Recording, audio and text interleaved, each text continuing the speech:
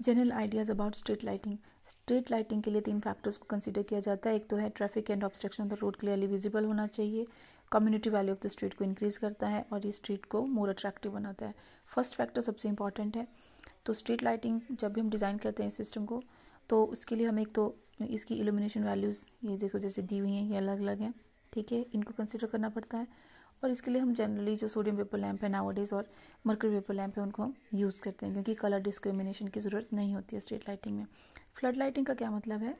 Flooding of large surfaces with large with light from power projectors जैसे बहुत बड़े बड़े सरफेसेस स्पोर्ट्स स्टेडियम हो गए railway yards car parks construction sites हो गई, इन बड़े बड़े सरफेसेस को with lights from power projector की हेल्प से इल्यूमिनेट किया जाता है।